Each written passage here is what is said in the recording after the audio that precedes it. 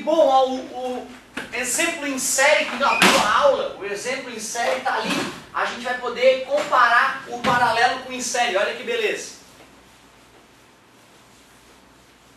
Ah, fazer bem parecido aqui, ó. O resistor. Só que aí o resistor equivalente vai dar com vírgula, vai ficar feinho. Vamos pegar uma coisa bonitinha para tu não ficar triste, né? Vamos pegar aqui então resistor de 60, um resistor de 30,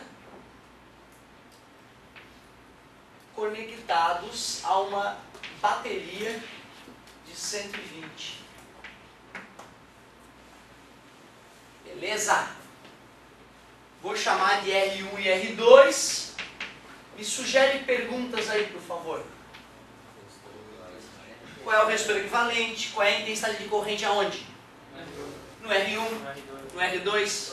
O total, que agora é diferente. Concorda comigo? Beleza? Então tem uma, um monte de pergunta. O que, que tu quer responder primeiro? Pode ser.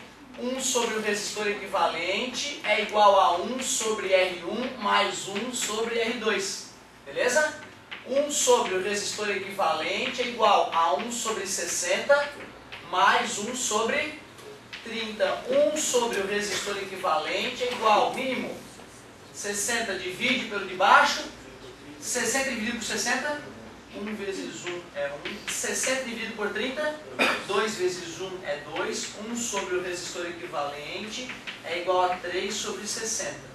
Se existe a igualdade, também existe a igualdade entre os inversos desses números. E 60 dividido por 3 é 20. Quer dizer que aquele circuito lá equivale a um circuito bem mais simples, onde só tem um resistor equivalente de 20.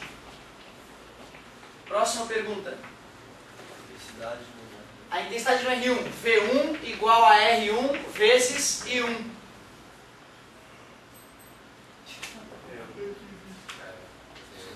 É mesmo, 120 está atuando nos dois, é a característica da associação em paralelo, mesma voltagem. 120 igual a 60 vezes I1 está multiplicando, passa 120 dividido por 60, 2 I1 igual a 2 ampere. Como é que eu acho I2? Isso, gente. V2. 120, porque a voltagem é igual. R2 é 30. E aí vou calcular o I2, está multiplicando. Passa dividindo. E 2 deu 4. Faz sentido ter dado 4? Sim. Claro, o cara tem a metade da resistência. E qual é a corrente total? Claro, pensa comigo. Naquele cara do mais pro menos, o convencional, né? O cara de cima tá com 2 amperes. O cara de baixo, 4 amperes. Os fios não se encontram aqui? Claro que o I total tem que dar 6 amperes.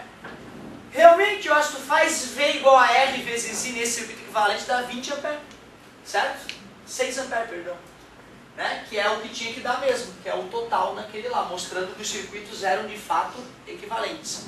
Mas tu vê, se eu só te peço as correntes, tu não precisa nem achar o resistor equivalente. Já pode fazer V igual a R vezes I de cara e matar as correntes, certo? Só precisa do resistor equivalente em circuitos mais complexos, ou então se o cara te pediu, quero saber o resistor equivalente.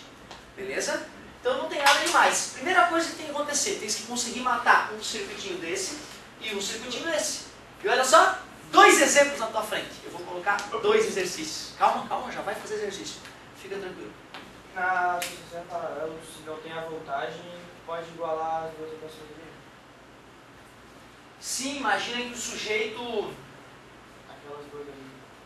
Poderia fazer né, R1 vezes I1 igual a R2 vezes I2, sem dúvida. Poderia fazer isso. Show de bola. Vou passar os dois exercíciozinhos bem similares com as perguntinhas. E eu quero só que tu resolva, não fica te enrolando na cópia não. Para calcular o I total, tem que calcular antes o I1 e depois o I2. E somar ou calcular o resistor equivalente e fazer pelo circuito equivalente. Né? Agora no finalzinho eu deveria ter escrito, às vezes eu me arrependo. Ó, eu agora no finalzinho comentei o seguinte, a gente achou que o I total é 6 somando I1 e I2. Não é? Mas esse circuito não é equivalente a esse? Vamos fazer V igual a R vezes I nele? V igual a R vezes I. Voltagem, 120. R, 20. Vamos calcular o I. Está multiplicando, passa. Então tu pode achar o I total tanto pelo circuito equivalente quanto pela soma das correntes separadamente. Certo? Isso que é importante, de certa forma, é uma prova real que eu acabei de fazer, né?